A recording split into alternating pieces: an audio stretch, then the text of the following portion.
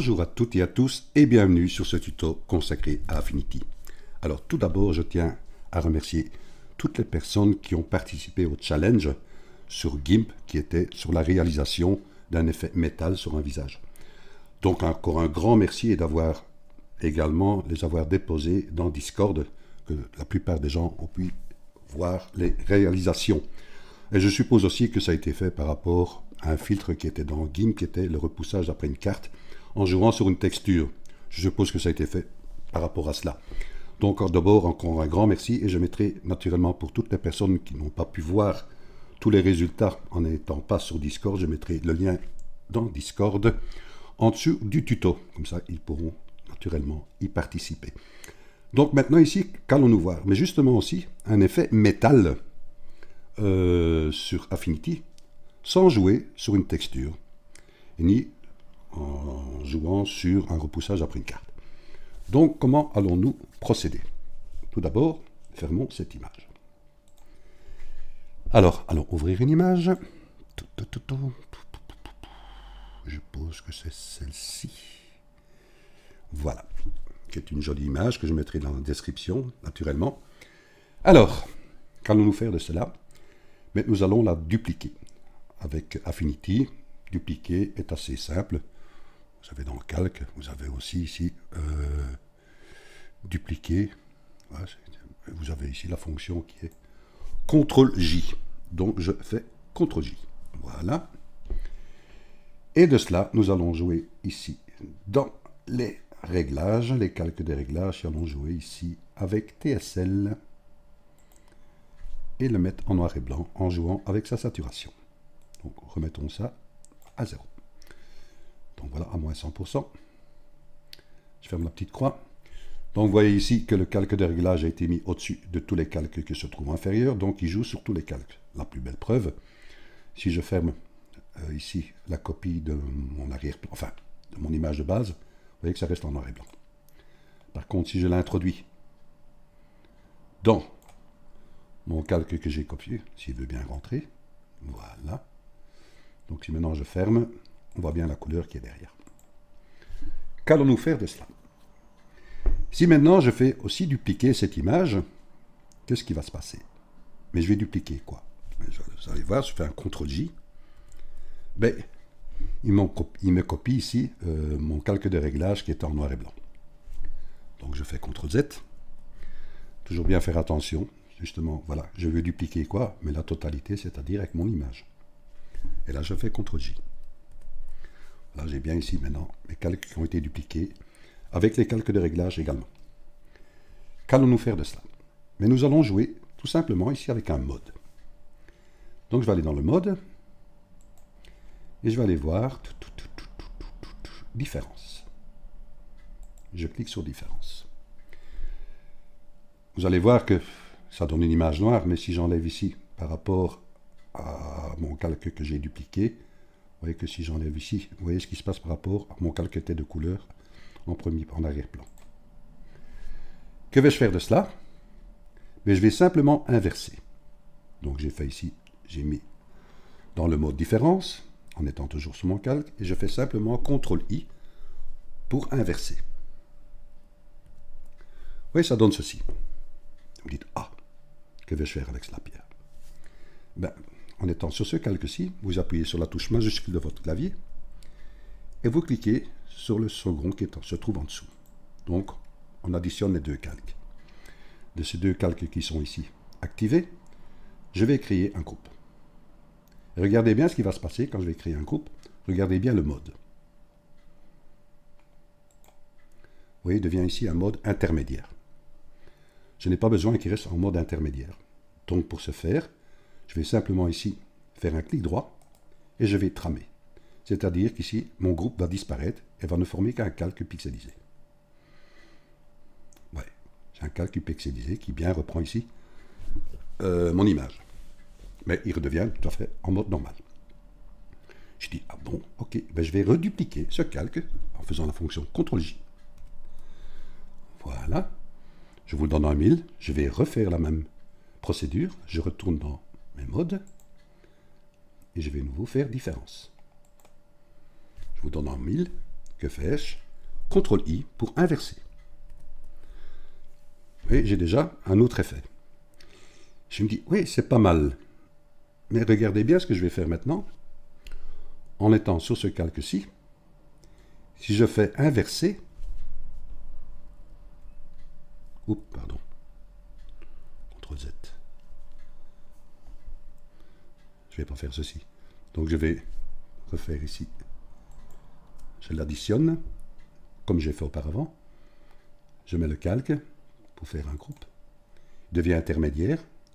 OK. Et là, je fais tramer pour de nouveau avoir un calque pixelisé. Si maintenant, je vais inverser en faisant CTRL I. Vous voyez, donne ceci. On arrive déjà dans un côté métal. Je vais le retenir. Je vais le retenir, celui-ci. Comment Donc, il est là. Je vais le dupliquer. CTRL J. Donc, c'est toujours très important, les, raccourcis. Donc, j'ai bien un calque ici qui est dupliqué par rapport à cette image-ci. Et je vais, devenir, euh, je vais revenir sur son état qui était auparavant en refaisant de nouveau la fonction CTRL-I. On revient à nouveau au point de départ. Mais mon calque est toujours gardé ici. Que vais-je faire? Je vais refaire de nouveau la même procédure. Je vais faire un CTRL-J pour dupliquer. Je retourne dans mes modes. Je retourne ici nouveau dans Différence. Voilà. Et là, je refais nouveau CTRL-I. Je refais la même procédure qu'au départ. Vous voyez, j'attrape de nouveau un métal beaucoup plus accentué. OK, je reprends la même procédure. J'appuie sur la touche majuscule de mon clavier J'active mon calque inférieur. Je reforme un groupe. Ça devient un nouveau intermédiaire. Je refais une un clic droit pour le tramer et avoir un calque pixelisé. Voilà une bonne chose. En sachant que mon calque qui est en dessous est celui-ci. J'espère que vous avez suivi. Que vais-je faire de cela? Mais je vais aller chercher justement des sections par rapport à cette image-ci. Pour ce faire, mais je vais créer un masque de calque. Voilà, j'ai bien un masque de calque qui est ici. Donc je vais agrandir mon image. Je vais aller chercher une brosse. Je regarde la taille. Moi j'ai les raccourcis, voyez, pour agrandir avec la fonction A ou Z. Donc je vais garder cette taille-là. Je suis bien sur un masque de calque ici, qui est de couleur blanche pour donner l'opacité complète. Donc je suis bien en noir et je vais aller peindre par rapport à ce qui était sur le calque en dessous. Vous voyez? Je vais chercher justement pour atténuer au niveau des yeux.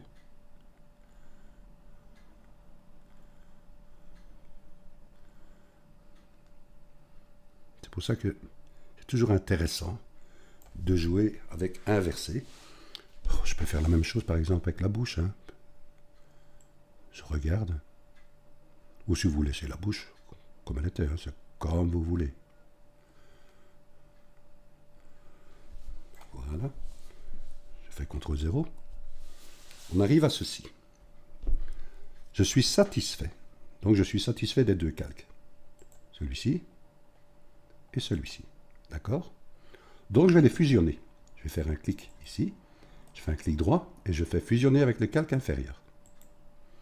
Donc j'ai bien un calque ici qui reproduit mon, image complète et en dessous j'ai mon image qui est en couleur. Que puis-je faire de cela? On s'amuse, hein?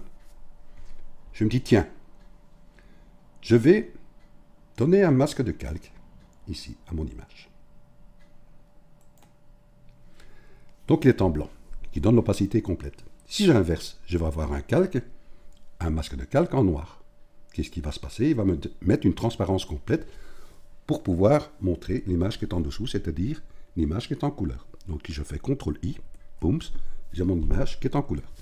Puisque mon calque que j'ai mis ici, qui est en noir et blanc, est fait métal, je vais donner un masque de calque noir, qui est la transparence complète. Ok, il, il fait maintenant ici apparaître mon image qui est en couleur. Et là, maintenant, je peux nouveau aller chercher une brosse que je vais agrandir. Voilà. Et je vais peindre ici En noir Ben non, en blanc. Je vais faire apparaître mon niveau métal. Vous voyez? Donc je viens apparaître ici, par exemple. Je peux même déborder, on s'en fout. Hein. On déborde, on va voir par rapport à ça. Jouer. On regarde bien. Voilà. Maintenant, je vois que j'ai débordé. J'appuie sur la touche X de mon clavier pour intervertir les couleurs. Donc, boum, ça devient noir. Et je vais diminuer la taille de ma brosse. Et je vais venir apparaître ici. Venir un peu plus proche. Voilà. Et qu'on peut s'amuser.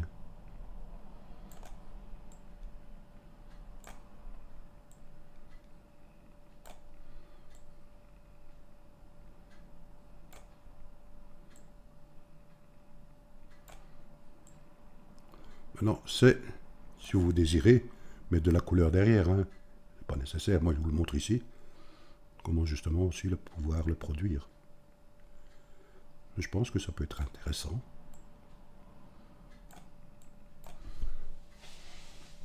Voilà. Maintenant, vous pouvez aussi encore, si vous voulez faire apparaître, je vais agrandir. Si je diminue la brosse,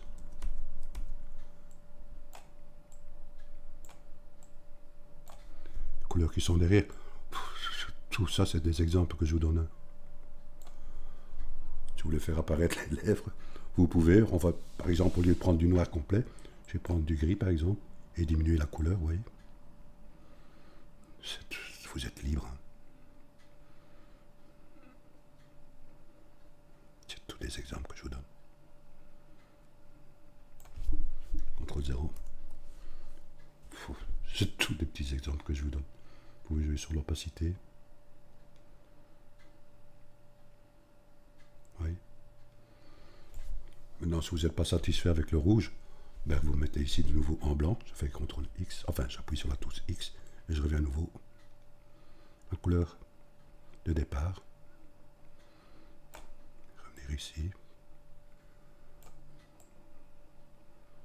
Je trouve que c'est pas mal comme ça. Voilà, j'espère que ce petit tuto voilà. On a joué ici avec justement inverser les couleurs. C'est toujours intéressant. Vous avez compris le système?